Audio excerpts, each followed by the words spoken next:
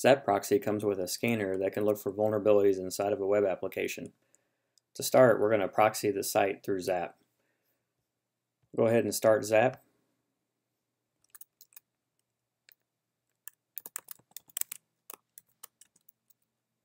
In this case, we're using Zap version 2.7 inside of Kali Linux. After Zap starts, we want to make sure that the proxy port that Zap is listening on is the same that Firefox is sending requests to. To start with, see what port Zap is listening on. You can go to Tools and then Options, or click on the gear.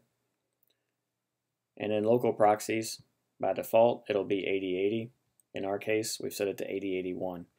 So Zap is listening on localhost, port 8081.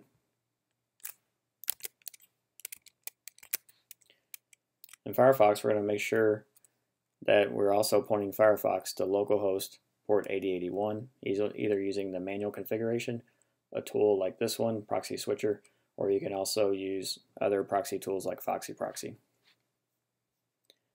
Zap also has an auto configuration feature. If you're only using Zap and not using other proxies like Burp Suite where you want to switch back and forth, you can use Zap's auto config to make this easy. So now we're going to browse to the site and do that through Zap. So we'll see the site show up over here in Zap. The Mutillidae site runs at, in our case, mutillidae.local slash mutillidae. So over in Zap, we're going to go to the slash mutillidae folder here, right click, and then we're going to pick active scan from the attack menu.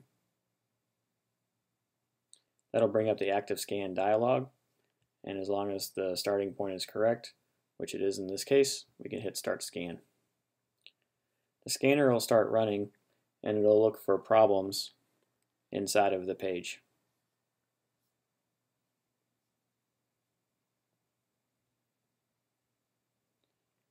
When it finds problems, it can list them over here on the left. It can give you advice on each problem and how to fix it. Notice that the scanner only scanned this one page. To find other pages, we can use the spider. So if we go to Attack and Spider, now we get lots of other pages that are in the site.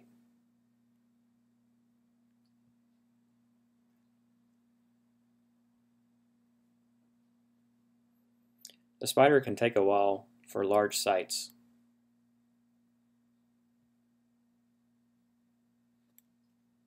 When you're done spidering the site, you'll have a lot more pages. And you can go ahead and do an active scan on the entire folder. So if you go back to attack and do the active scan, you can still use this folder as the starting point and hit start scan. But then you'll be scanning all the pages that you found with the spider and you get a lot better coverage. As problems are found, they'll show up over here in the alerts.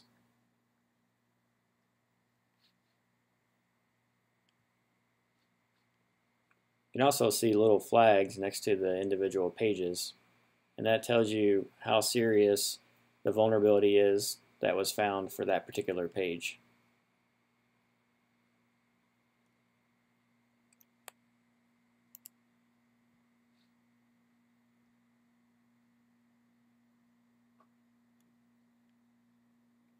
The scanner can take a long time to run, and it'll accumulate alerts as it goes. If you open up the alerts, you'll see all the pages that are affected by that particular problem. In this case, 31 pages. If you click on the individual page, you'll get a lot more detail about the vulnerability on that page, a description of the problem, and other information. You may need to scroll down to see all of the fields.